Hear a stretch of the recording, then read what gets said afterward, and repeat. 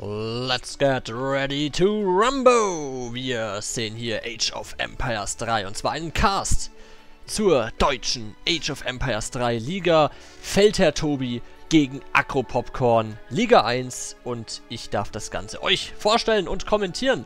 Und wir sind hier unterwegs bei der ersten von zwei Maps und sehen in der oberen rechten Ecke Akro Popcorn mit den Azteken in lila. In der unteren linken Ecke haben wir Feldherr Tobi mit Portugal. Eine interessante Nation, die wir nicht so oft bei äh, Feldherr Tobi sehen. Dementsprechend sind wir jetzt natürlich sehr interessant, wie dieses Match gespielt wird. Wir sehen auf beiden Seiten der Map die Handelsrouten, die genutzt werden können. Wir haben doch relativ viele äh, Herden hier überall ein bisschen verteilt mit den Tapieren, die wir sehen.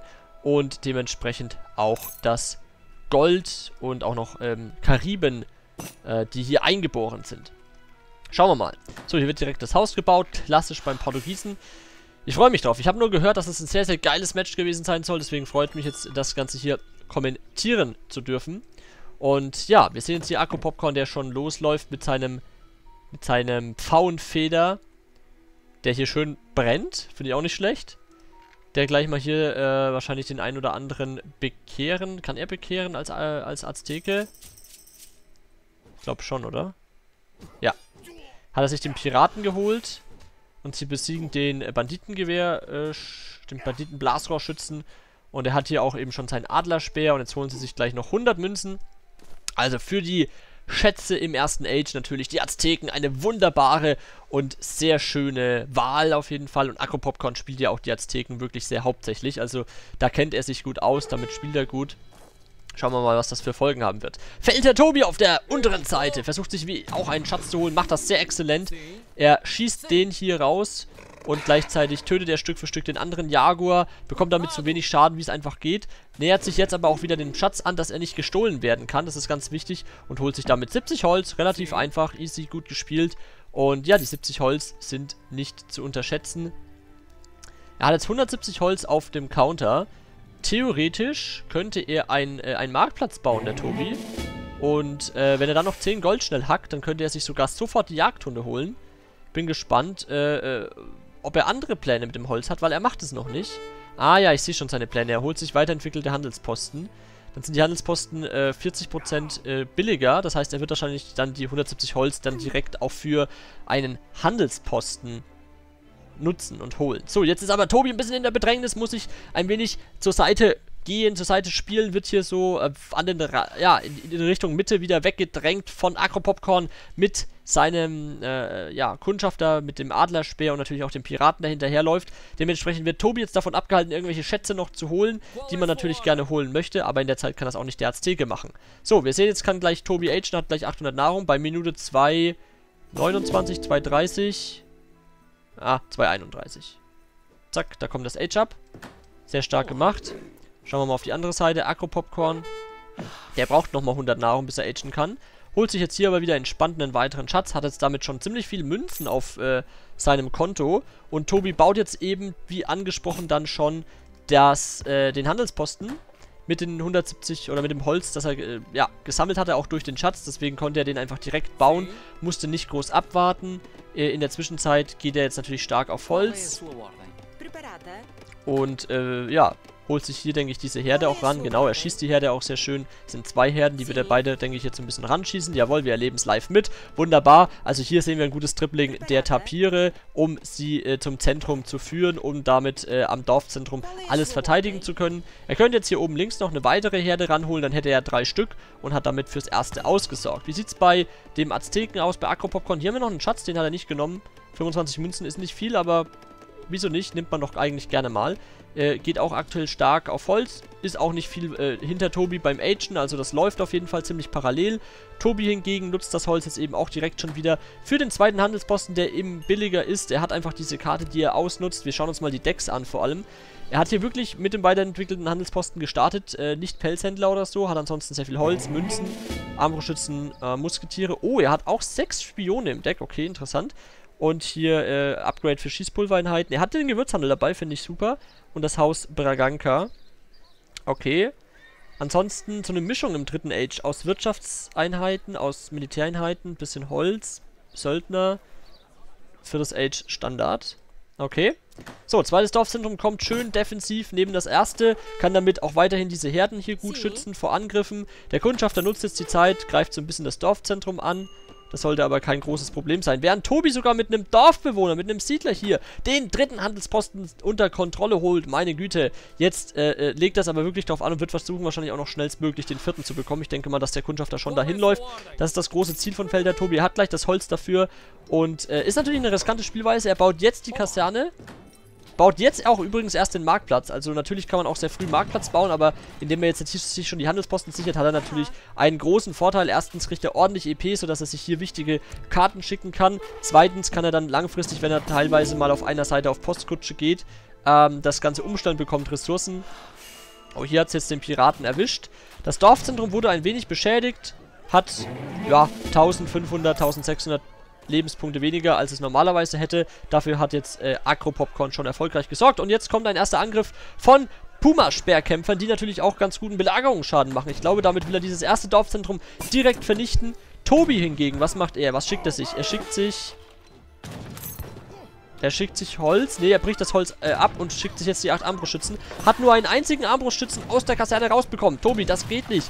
Das ist jetzt ein Problem für ihn. Wenn das so weiterläuft, dann verliert er dieses zweite Dorfzentrum, was natürlich schon kritisch ist für einen Portugiesen. Währenddessen baut er aber in aller Ruhe, wir sehen es auf der Minimap unten rechts, den vierten Handelsposten. Das ist unfassbar.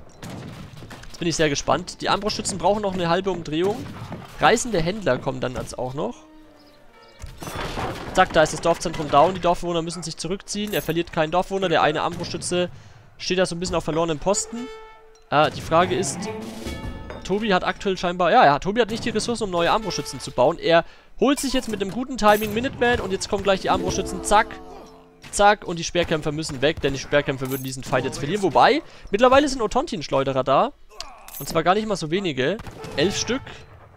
Aber ich denke, es macht schon trotzdem Sinn, jetzt hier wegzugehen. Dorfzentrum schießt ja immer noch. Und man kann warten, bis die Minutemen wieder schwächer sind und dann eigentlich wieder angreifen.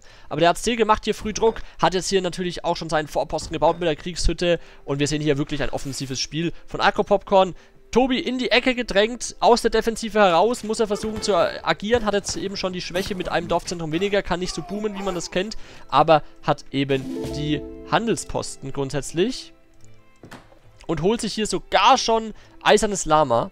Also er hat schon sozusagen die Postkutsche, die hier ein bisschen anders heißt und holt sich jetzt schon das, das letzte Upgrade. Also wird wirtschaftlich mit zwei Handelsposten stark unterwegs sein. Es gibt ihm eine gute Wirtschaft, aber er steht die ganze Zeit unter dem Pressing, unter dem Druck von Agro-Popcorn. Und wir sehen hier die ganze Zeit die Truppen, die reinmarschieren. Wir sehen die Otontin-Schleuderer, die jetzt natürlich in der Masse überlegen sind und diese Armbrustschützen einfach vernichten können, auch wenn es knapp wäre. Das Dorfzentrum schießt natürlich immer noch für Tobi, dementsprechend läuft es noch. Aber Tobi kann gerade die ganze Zeit mit seinen Dorfbewohnern nichts sammeln. Hat hier äh, elf untätige Dorfbewohner im Dorfzentrum drin. Das Holz Holz wird eingesammelt. Er hat insgesamt sehr wenige Dorfbewohner, wenn wir das mal vergleichen.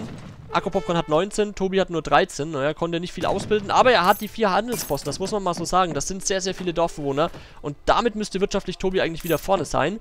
Und hier nutzt er jetzt ja auch schon die zwei Handelsposten mit der Eisenbahn, um sehr schnell an Ressourcen zu kommen. Ich gehe davon aus, dass er das hier auf der linken Seite auch noch machen möchte. Er hat schon die Postkutsche sich geholt. Äh, und wird jetzt, denke ich, auch noch, sobald er die Ressourcen hat, das eiserne Lama, oder er muss ja, er braucht ja gar keine Ressourcen, das kann er einfach so machen, das eiserne Lama holen. Dafür war ja dieses Upgrade gedacht, weiterentwickelte Handelsposten. So, jetzt holt sich Tobi tatsächlich die Truhe mit Münzen. Er will, er will Age 3 spielen, denke ich mal. Das Problem ist, ihm fehlt einfach die Nahrung. Er kann keine Dorfwohner ausbilden, kann keine Armee ausbilden. Ja doch, er bildet sogar ein bisschen Armee aus, aber nicht vollständig, also keine fünf Truppen. Und ah, der Azteke setzt ihn weiter unter Druck. Schiebt hier weiter vorwärts. Kann auch seinen Helden wieder retten hier. Das war gerade sein Ziel. Mittlerweile hat Tobi aber doch eine bemerkenswerte Anzahl an Armbrustschützen, 18 Stück. Damit kann er die Angriffe hier jetzt auf jeden Fall erstmal entspannt wieder abwehren und kann sich, denke ich, darauf fokussieren, äh, die Nahrung zu sammeln, wenn er wirklich agen möchte. Allerdings hat er, wie gesagt, sehr wenige Dorfbewohner, die was einsammeln können. Dafür aber bekommt er gerade durch diese ganzen Handelsposten eine ganze, ganze Menge. Und was holt er sich denn hier? Holz. Also er hat beide auf Holz gestellt. Er sammelt sehr, sehr viel Holz. Ich gehe davon aus, ähm... Okay, für was hat er das Holz ausgegeben? Für Häuser. Okay, er will Häuser bauen, alles klar. Er schickt sich nochmal sechs Musketiere, Tobi. Er will hier ein bisschen auf Nummer sicher gehen, rechnet jetzt mit den Angriffen. Und die Angriffe kommen ja immer wieder. Wir sehen, Akropopcorn kriegt hier immer mal wieder einen Do äh, Siedler, den er raussnipen kann, den er abgeschossen bekommt. Äh, kriegt hier sozusagen den einen oder anderen Treffer, aber kann damit noch nicht das Spiel entscheiden, meine Damen und Herren. Während Tobi hier äh, sich noch super stark verteidigt, baut die Wirtschaft aus währenddessen, äh, äh, holt sich die Handelsposten. Ja, und äh, äh Akropopcorn merkt nicht, dass auf der Flanke gespielt wird. Er merkt nicht diesen Winkelschachzug mit den zwei Flanken, die Tobi fest unter Kontrolle hat. Äh, äh, oder vielleicht, schauen wir mal kurz. Ja, doch, er, er, er, weiß auf jeden Fall, dass da was ist oder sein könnte. Aber konzentriert sich natürlich vollkommen auf Feldherr Tobi und den Angriff hier. Mittlerweile sehen wir auch schon Totenkopf Ritter beim Azteken. Was holt der sich denn? Er hat übrigens, äh, er bildet nach wie vor Kriegspriester aus. Er holt sich jetzt die Kojotenläufer. Das ist natürlich eine super Aktion gegen Ambros-Schützen und auch gegen äh, Siedler. Zum Raiden ist das eine tolle Sache. Tobi hingegen entscheidet sich scheinbar ähm, doch gegen Age 3 und baut jetzt erstmal ordentlich Armee. Ist, denke ich, auch der richtige Weg, denn er muss sich einfach verteidigen. Jetzt denkt Akropopcorn mal so weit, dass da Handelsposten sein können, die er jetzt angreift. Das sehen wir jetzt hier auch. Jetzt entdeckt er ihn, greift ihn erstmal in aller Ruhe an. Und ja, Tobis Armee ist natürlich out of position, kann diesen Handelsposten damit nicht retten. Die Frage ist, was macht Tobi? Bleibt er defensiv in seiner Base oder drängt er raus oder macht einen Gegenpush? Was macht er jetzt? Tobi zeigt seine Stärke als Kavalleriespieler, holt sich Nahkampfkavallerie, sind jetzt zwar nur zwei Husaren, aber wir kennen den Dribbler, den, äh, ja, Künstler Feldherr Tobi mit Kavallerie. Was der mit Kavallerie anstellt, das ist immer ein Meisterwerk. Deswegen erwarten wir natürlich Großes von diesen zwei Husaren. Währenddessen verliert er einen Handelsposten, eine wirtschaftliche Quelle, die sehr wichtig für ihn ist mit diesem äh, Siedlerrückstand. Tobi hat jetzt 16 zu 26. 10 Siedler weniger, aber immer noch drei Handelsposten. Tobi ist kurz davor, einen Siedler zu verlieren. Merkt er es oder merkt es nicht? Ah, er muss es nicht mal merken, denn Akropopcorn entscheidet sich zum Rückzug, wenn die Armee kommt. Er hätte vielleicht noch zwei Schläge machen können, dann wäre der Siedler tot gewesen, aber er hat sich lieber für die sichere Variante für seine Kojotenläufer entschieden. Alles klar. So, wieso greift jetzt Akropopcorn nicht den zweiten Handelsposten an? Er marschiert hier wieder ein bisschen mittig. Wieso nicht auf den zweiten Handelsposten gehen? Tobi, was macht Tobi mit der Kavallerie? Tobi war hier gerade mit der Kavallerie. Akropopcorn musste sich mit den Dorfbewohnern zurückziehen. Tobi hat indes keinen Husaren verloren, kann jetzt hier schön weiter Druck machen und hat jetzt mittlerweile auch eine schöne Armee gebaut, die er nicht irgendwie rausschickt, die er schön defensiv hält, die er weiter stärkt, mehr Truppen macht. Hat jetzt auch hier schon vier Husaren nochmal und versucht hier wieder Raiden zu gehen. Wir sehen also wieder die Stärke von Tobi. Er geht, Raiden kriegt hier eventuell einen Siedler. Ja, Akropopcorn merkt es nicht. Akropopcorn verliert einen Siedler. Damit ein, ja, Ausgleich könnte man sagen, so ein bisschen. Für Felder Tobi. Er kann jetzt so ein bisschen den Druck auf der anderen Seite erhöhen. Und wir sehen das mit zwei Husaren. Er verliert jetzt zwar einen Husaren, aber versucht jetzt hier auf jeden Fall noch einen Dorfbewohner mitzunehmen. Und den bekommt er auch noch. Zack. Wird jetzt wahrscheinlich den, ja, auch noch verlieren. Aber hat mit zwei Husaren ein bisschen Druck gemacht, hat ein paar Siedler angegriffen.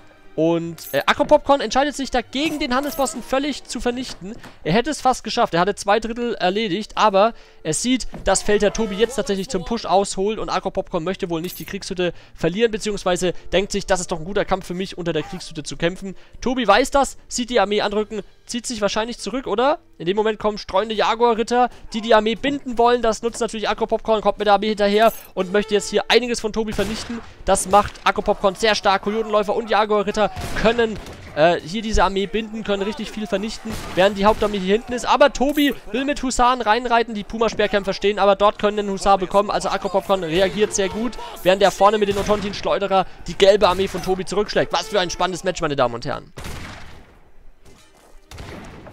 Und auch wieder hier Pfauen Feder mit wenigen Lebenspunkten, wird hier noch mitgefightet, stirbt jetzt aber. 100 EP für Gelb, für Feld der Tobi, der nach wie vor drei Handelsposten sich sichern kann, nach wie vor hier aus drei Handelsposten Ressourcen bekommt Münzen und alles, was er braucht. Das ist doch mal hilfreich. Die Fights hat er jetzt ganz gut geführt, der Tobi, aber auch Akku-Popcorn, da kann man jetzt sich nichts nehmen lassen. Aber wir sehen wieder mal eine Raid-Action von Felder Tobi. Er kommt wieder mit drei Husaren und will raiden gehen. Das ist auf jeden Fall eine starke Sache. Akku-Popcorn könnte mal zwei, drei Speerkämpfer hinten einfach stehen haben, um das Ganze abzusichern. Wir schauen mal, was sieht denn Felder Tobi? Schauen wir das mal kurz aus Felder Tobis Sicht an. Er hat jetzt seine kleine Armee, hat vor allem mittlerweile sehr viele Musketiere, wenige Armbrustschützen, ist also nicht mehr so anfällig für Kojoten oder ähnliches. So, Jetzt will er wieder raiden gehen. Na, die Kriegspriester greifen ihn ein bisschen an. Da kann jetzt Tobi nicht so viel ergattern, denn die Kriegerpriester können natürlich auch Schaden machen. Und er will aber den einen Kriegerpriester, der kann aber eingequartiert werden und äh, Tobi verliert gleich seinen Husar, noch einen Schuss und der Husar ist tot. Ja, jetzt. Da ist der Husar tot, er hat keinen großen Schaden machen können. Das war jetzt nicht so super, aber er konnte jetzt einen Dorfwohner wieder töten. Also Tobi sorgt für Action, aber die Dorfbewohner plus die Kriegerpriester töten jetzt die Husaren, wobei Akropopcorn nochmal einen Dorfbewohner, einen Siedler hier verliert. Während er jetzt aber endlich diesen zweiten Handelsposten von Felder Tobi aus dem Spiel nimmt. Und damit haben wir die Flanke ähm, nicht mehr unter der, äh, äh, der sicheren Hand von Feldherr Tobi. Tobi hat damit die Hälfte seiner Handelspostenwirtschaft verloren. Und hier unten war ein Kojote, interessant. Schauen wir mal wieder alle, die ganze Fläche an. Also, Agro Popcorn hat das jetzt hier unter Kontrolle, holt sich sogar selbst einen Handelsposten. Macht absolut Sinn für, äh, äh, äh für Agro Popcorn das jetzt so zu spielen, denn der, die Eisenbahn ist ja schon da, da hat sich ja Tobi drum gekümmert. Wenn Akkupopcorn sich jetzt einfach die Handelsposten holt, dann ist das unfassbar stark von ihm. Während fällt der Tobi aber denkt, er muss jetzt pushen, greift er jetzt hier auch den Außenposten an, die Kriegshütte. Akkupopcorn kommt mit seiner Armee zu spät, kann damit nicht mehr unter der Kriegshütte pushen. Dementsprechend gute Aktion von Felder Tobi, kann diese Gefahr erstmal hier bannen, während er immer noch zwei Handelsposten hat. Wie sieht es aus mit Dorfbewohnern? 35 zu 23, also wir haben sehr viele Dorfbewohner bei Akkupopcorn und eben aber noch die zwei Handelsposten bei Tobi. Es ist eine sehr knappe Angelegenheit, da ist noch nichts entschieden, ist noch alles möglich. Ich bin sehr gespannt, wie das hier ausgehen wird, meine Damen und Herren. Tobi will sofort wieder den unteren Handelsposten bauen. Er hat nämlich auch das Holz, habe ich gesehen. Er hat 481 Holz jetzt immer noch, obwohl er schon den Handelsposten baut. Und er schützt so ein bisschen seinen Kundschafter mit den Husaren, glaube ich. Während Akropopcorn sich hier oben den Handelsposten holt. Ja, und Akropopcorn beginnt jetzt hier oben auch die Handelsposten einzureißen. Ich glaube, ihm wird jetzt erst so richtig bewusst, wie stark Tobi schon die ganze Zeit auf Handelsposten gegangen ist. So, jetzt kommt ein bisschen Ruhe rein. Die Armeen sind sehr parallel jetzt, äh, oder diagonal gegenüber so ein bisschen. Einmal greifen sie oben den Handelsposten an. Tobi sucht, ja, sorgt hier für ein bisschen Sicherheit auf jeden Fall. Und könnte diesen Handelsposten von Agropopcorn natürlich wieder angreifen, aber er, will natürlich auch wieder raiden gehen. Die Dorfbewohner von Agropopcorn müssen sich zurückziehen hat er das gesehen? Ja klar, er hat durch den Handelsposten gesehen, dass der Husare kommen. Dementsprechend konnte Akkupopcorn sehr früh reagieren. Eine sinnvolle Aktion von Seiten Akkupopcorns als Trainer der Azteken hier. Er hat da die klare Anweisung gegeben, sich zurückzuziehen, zurückzuhalten und nicht weiter das Holz hier zu hacken. Aber ein Dorfbewohner geht trotzdem down, ein Siedler. Und jetzt kommt Tobi sehr aggressiv mit sehr vielen Husaren. Da ist die Frage, kann der Akkupopcorn dagegenhalten, wenn Tobi raiden möchte? Natürlich mit seiner Hauptarmee, wobei diese Hauptarmee nicht mehr so groß ist. Akropopcorn, man sieht es, ich glaube, er möchte agen. Er hat sehr viel Nahrung angesammelt, aber ihm fehlt noch das Gold. Er schickt sich aber aktuell Holz, spricht er weniger fürs Agen. Ja, er könnte sich nochmal 600 Gold auch schicken. Hier kommt es jetzt zu einem kleinen Fight. Kojotenläufer gegen Husare. Den Fight könnte aber Tobi für sich gut entscheiden, aber es kommen weitere Kojotenläufer und die große Armee von Akropopcorn kommt. Spätestens jetzt muss sich Tobi zurückziehen, verliert aber nochmal einen Husaren, oder? Ja, der geht noch down und hat hier nochmal ein bisschen Schwächung. Lässt auch einen Husaren zurück, um den Rest zu schützen. Na, zwei Stück. Da hat er doch jetzt einige Husaren verloren, muss man sagen. Eine kleine Schwäche von Tobi wiederum. Der versucht mit seinem äh, Kundschafter hier ein bisschen Schaden zu machen. Ähm... Kommt sogar mit Pikinieren. Das ist mal eine sinnvolle äh, äh, äh, Wahl des Trainers, Feldherr Tobi bei seinen äh, Portugiesen bei seiner Mannschaft, dass er jetzt die Pikiniere einwechselt. Einfach um äh, die Pikiniere zum äh, äh, Einreiß des Handelsposten zu nutzen. Leider ein unglücklicher Zustand für Tobi, denn in dem Moment treffen die eingewechselten Pikiniere auf Akropopcorns Armee. Die Pikiniere müssen sich damit eigentlich zurückziehen. Sie tun es aber nicht. Doch, sie tun es. Akropopcorn kriegt aber, denke ich, einen Schlag ab. Kann sie ein bisschen slowen. Aber ob das reicht, er wird wahrscheinlich einen Pikinier vernichten können. Ja. Ne, es ist der Kundschafter. Ah, shit, die Pikiniere also sie bleiben stehen, aber es ist sehr schwierig. Wenn er die Pikiniere einzeln auswählt, kann er damit fliehen. Der Kundschaft, das slowt die gerade ein bisschen. Ja, wobei, diese, es ist unfassbar. Diese Puma-Sperrkämpfer slowen diese Pikiniere gerade. Er könnte die, die, die, restlichen Pikiniere einfach wegziehen. Aber Tobi nutzt die Chance, greift mit der Armee an, während Akro Popcorn ein bisschen out of position steht und auch gar nicht mehr so eine riesen... Ja doch, er hat noch eine gute Armee. Jetzt bin ich mal sehr gespannt. Akro Popcorn mit 41 Dorfbewohnern. was haben wir jetzt? Fällt der Tobi mit 29 Dorfbewohnern. Beide Age 2 nach wie vor. Ja, Akkupopcorn wäre kurz vorm Agen, muss ich jetzt aber wieder für Truppen entscheiden, glaube ich. Tobi kommt jetzt mit seiner gesamten Militärstärke, hat sehr viele Husaren mittlerweile. Wir sehen aber auch einige Kojotenläufer, Otontin-Schleuderer und natürlich auch die Pumasperrkämpfer. Aber die Pumasperrkämpfer ein bisschen out of position. Wenn jetzt die Husaren in die Otontin-Schleuderer reingehen und die Hauptarmee von Tobi kommen, dann könnte es für Tobi ein guter Fight werden. Aber die Husaren werden abgewehrt. Sehr elegant von Akropopcorn mit seinen Kojotenläufern. Es kommen auch nochmal fünf Kojotenläufer raus. Die Kriegstüte schießt für Akropopcorn. Er kann dementsprechend das ganz gut fighten. Tobi bildet weiterhin Musketiere aus zwei Kasernen aus und aus einem Stall auch noch Husaren. Den Fight hier vorne macht Tobi sehr gut. Kann ein paar Kojotenläufer bekommen. Beide stehen sich jetzt sehr stark gegenüber. Wir sehen jetzt hier auch viele Dorfbewohner von Aquapopcorn, aber die kann er schützen mit genügend Truppen. Da kann Tobi nicht rein. Ganz im Gegenteil, er verliert sogar einen Husaren. Das war jetzt nicht so gut gemacht. Jetzt versucht er seine Armee wieder ein bisschen zusammenzubringen. Und ja, sehen wir jetzt den großen Fight. Es, ja, es ist immer noch so ein bisschen Geplänkel, aber Tobi denkt sich, ja, er will noch nicht angreifen, glaube ich. Vielleicht wartet er nochmal auf Unterstützung. Er zieht sich tatsächlich nochmal zurück, der Tobi. Er zieht sich nochmal zurück. Tobi nach wie vor 31 Dorfbewohner, Akropopcorn 44. Also nach wie vor große Überzahl an Dorfbewohnern für Akropopcorn. Tobi mit zwei Handelsposten, ja, beziehungsweise jetzt aktuell nur noch mit einem Handelsposten vorne im Vergleich zu Akropopcorn. Also gar nicht mehr so groß. Dementsprechend sollte Akropopcorn eigentlich wirtschaftlich ein bisschen vorne sein. Mit der Anzahl an Dorfbewohnern. Wobei jetzt natürlich mittlerweile die Karte auch abgegrast wird. Wir sind bei 18 Minuten gleich. Ah, schwierig, schwierig. Ah, hier oben sind noch einige Dorfbewohner, die holt sich jetzt Akropopcorn, äh, einige äh, äh, einige Nahrung, die holt sich jetzt Akku-Popcorn. Und hier in der Mitte, aber da sind eben die, die Truppen, da kann keiner so richtig holen. Und hier unten ist auch sehr gefährlich, weil da könnten die Gegner kommen, könnten raiden, könnten Action machen. Das ist natürlich eine gefährliche Angelegenheit. Ich denke, es wird jetzt alles auf den finalen großen Kampf hier hinaus äh, äh, laufen, denn der, es ist super knapp gerade, die Wirtschaft ist knapp bei denen. Und es wird jetzt darauf ankommen, wer den Fight jetzt hier besser macht. Ich denke, das könnte spielentscheidend sein. Die, äh, ja, wichtige finale Aktion, die wir hier jetzt gleich sehen könnten. Tobi will verhindern, dass Akropopcorn hier einen Handelsposten baut, kann mit den Husaren damit einige Dorfbewohner töten, die ein bisschen out of position stehen. Das sind drei, vier, fünf, sechs Stück. Da werden jetzt sechs Dorfbewohner sterben. Das hat Akropopcorn nicht sehr gut gemacht. Muss man einfach an der Stelle so sagen. Er verliert damit gerade seinen Vorteil gegenüber äh, Felter Tobi mit dieser enormen Überzahl an Dorfbewohnern. Er hat halt die ganzen Dorfbewohner verloren. Und Tobi sichert seine Dorfbewohner aber ab sichert die Flanken ab, muss jetzt mit seinen Husaren zurück, verliert wahrscheinlich einen Husaren auf jeden Fall. Der Rest, denke ich, kann fliehen. Das war jetzt auf jeden Fall eine gute Aktion von der gelben Seite von Felter Tobi. Ach ja, zwei Handelsposten. Zu zwei Handelsposten hätten wir jetzt bald, wenn dieser Handelsposten fertig wird. Ja, hat er aber nur noch 340 Lebenspunkte. Das ist nicht viel. Und hierbei, hier haben wir jetzt die Armeen. Und Tobi schützt jetzt hier eben seine Dorfbewohner, die hier drüben noch äh, die Nahrung sammeln. Und jetzt kommt's, kommt's zum Fight. Ja, Tobi zieht sich nochmal ein bisschen zurück. Fightet mit Musketieren.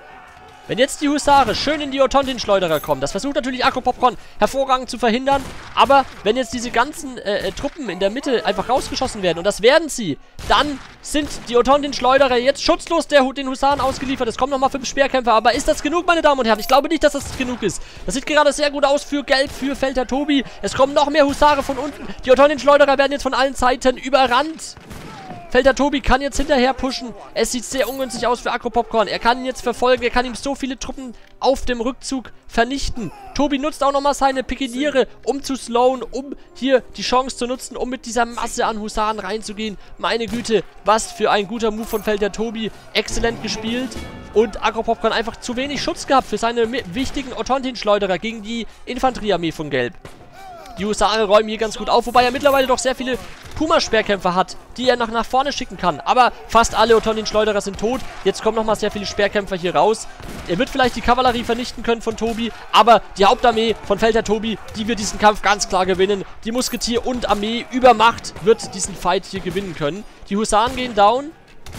Aber die Masse von Tobi müsste immer noch gut genug sein, um diesen Fight hier zu gewinnen. Felder Tobi bei 36 Dorfbewohnern, 97 Bevölkerung Akropopcorn nur noch 55 Bevölkerung bei mehr Dorfbewohnern. Wir sehen also, Akropopcorn hat keine Armee mehr. Tobi hat die deutlich größere Armee, gewinnt den Fight und die Frage, gewinnt er damit das Spiel? War das schon der spielentscheidende Move, den wir hier gesehen haben, die spielentscheidende Schlacht? Tobi kann jetzt hier vorpushen, hat wieder 5 Husaren, damit kann er den Rest an den Ton den Schleuderer ohne Probleme einfach noch niederbalzen, vernichten. Ähm, gar kein Problem für ihn und äh, kann jetzt hier so ein bisschen hinterher marschieren und dann haben wir gleichzeitig auch noch, ähm, ja, die Kriegshütte, die er angreifen könnte. Er entscheidet sich aber, glaube ich, eher dagegen und will schauen, ob er hier Dorfbewohner bekommt. Da läuft jetzt gerade ein bisschen ins Leere. Hier oben sind keine Dorfbewohner. Hier wären noch Dorfbewohner, aber da läuft Tobi nicht hin. Tobi jetzt noch ein bisschen unter Bedrängnis, aber Tobi hat die ganz klar deutlich größere Armee. Äh, wirtschaftlich holt er auf, nur noch 5 Dorfbewohner Unterschied, kann jetzt natürlich viele Dorfbewohner auch töten. Damit gleicht das Tobi sehr gut aus. Und wir haben zwei Handelsposten und Handelsposten, also wirtschaftlich ist es jetzt absolut ausgeglichen mit dem Vorteil für Tobi, dass er einfach die größere, stärkere Armee hat und gerade mehr Armee rauspumpen kann. Ähm, da kommen auch die Husaren noch von Tobi. Das sieht mir GG aus, würde ich behaupten. Das sieht mir GG aus. Tobi kann jetzt hier nochmal alles niederschlachten mit Husaren. Also die Husaren haben hier die Entscheidung gebracht für Felder Tobi. Und ja, was habe ich euch gesagt? Ein ein, ein Meisterwerk, was hier auf diese Bildfläche ge ge ge gebracht wurde, geleistet wurde von Felder Tobi. Was dieser Mann mit Kavallerie anstellt, das schafft kein zweiter. Und das haben wir jetzt hier klar gesehen. Und damit geht das erste Game von zwei Games an Felder Tobi. Denn das Spiel ist aus, aus, aus. Tobi gewinnt mit den Portugiesen dieses Match gegen Alcro Popcorn. Ein spannendes Spiel, sehr intensiv, sehr interessant. Fights hin und her. Beide haben sich ganz hart und ja, schwierig die Handelsposten geholt, die sehr entscheidend waren für Felter Tobi. Eine riskante Taktik, wenig Dorfbewohner gehabt, hat am Anfang sein Dorfzentrum verloren, aber Felter Tobi hat am Ende das Ding nach Hause geholt und sich schon mal, äh, ja, dieses eine wichtige Spiel geholt, dass er auf jeden Fall einen Punkt sicher hat. Die Frage ist, wie geht das zweite Spiel aus? Vorher schauen wir in die Statistik. Meine Güte. Was für ein Match. Felter Tobi doch deutlich weiter vorne, als ich es eingeschätzt hatte, muss ich sagen. Er hatte doch längere Zeit wahrscheinlich die Handelsposten im Vergleich zu Agropopcorn. Damit hatte er tatsächlich doch 7000 mehr Ressourcen. Das habe ich falsch eingeschätzt, muss ich an der Stelle mal so sagen deutlich stärkere Wirtschaftslage für Feldherr Tobi, obwohl er nicht das zweite Dorfzentrum hatte. Stellt euch mal vor, er hätte das zweite Dorfzentrum gehabt und hätte dann noch mehr Dorfwohner rauspumpen können. Dann wäre er völlige Übermacht gewesen. Deswegen war es unfassbar wichtig für Akropopcorn, dieses zweite Dorfzentrum zu vernichten. Wir sehen die Killzahlen für Tobi. Sehr stark. 271 Kills zu 118. Meine Güte, das kam einem gar nicht so vor, dass Tobi dann so killmäßig so überlegen ist. Jetzt am Ende natürlich hat er viel gekillt. Aber jetzt schaut euch mal an, Bevölkerung, Dorfbewohner. Da war Akropopcorn eben lange Zeit immer deutlich vor Tobi. Hier hat jetzt einige Verluste gehabt. Dementsprechend hier am Ende eine starke Abschwächung, aber jetzt bin ich mal kurz gespannt. Rohstoffe gesammelt. Da war Agropopcorn wirklich nur am Anfang hier vorne. Also die Handelsposten haben wirklich dafür gesorgt, dass Tobi ab Minute 8 820 durchgängig vorne war, obwohl Agropopcorn zwischenzeitlich ein bis zwei Handelsposten eingerissen und sich selbst geholt hat, konnte er wirtschaftlich nicht wieder mit Feldherr Tobi gleichziehen. Sehr spannend, sehr spannend auf jeden Fall. Bevölkerung, Militäreinheiten, da sehen wir Akropopcorn am Anfang sehr aggressiv, sehr stark, hat Druck gemacht, aber hat es halt nicht geschafft, Tobi hier völlig irgendwie wegzurushen. Dafür hatte dann Akropopcorn auch zu wenig Armee. Tobi konnte im Midgame eine ordentlich große Armee aufbauen. Die hat aber Akropopcorn gut niedergefightet, dass beide wieder gleich viele Truppen hatten. Dadurch wurde es wieder spannend, aber gegen Ende hat Tobi einfach durchgängig mehr Armee aufbauen können. Wir sehen das hier, Musketiere, Armbrustschützen und vor allem Husare haben hier für die Entscheidung in der finalen Schlacht auch mit mehr Truppen gesorgt. Da hat Tobi auch von mehreren Zeiten sehr gut angegriffen. Es war ein exzellentes exzellentes Spiel, eine exzellente Meisterleistung, ein ja durchaus schon legendäres Spiel, wie man es nennen kann. Äh, intensiv, spannend und äh, ja, es hat einfach Spaß gemacht, das zu kommentieren. Ich hoffe, ihr habt das mitbekommen. Äh, ich habe mich ein bisschen in Kommentierfreude geredet. Und natürlich gibt es auch noch ein zweites Spiel zwischen den beiden und das wird euch auch noch äh, äh, folgen, das wird auch noch kommen als ein zweites Video. Wenn euch das hier gefallen hat, lasst ein Like da auf jeden Fall für diese geile äh, Unterhaltung, die uns Felder Tobi und Akku Popcorn hier geliefert haben. Props an die beiden, GG an die beiden und ja, schreibt mir mal in die Kommentare, wie, was haltet ihr von diesen Taktiken, die wir hier gesehen haben? Was haltet ihr von Felder Tobi, der so stark auf diese Handelsposten gegangen ist, auf dieser Karte? War es riskant oder war es der einzig richtige Weg? Aber in die Kommentare mit euren Diskussionen und äh, dann schaut auf jeden Fall ins zweite Video rein, wo es äh, ja um das Rückspiel geht.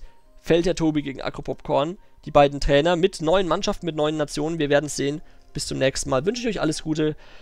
Euer Gaius Julius Caesar.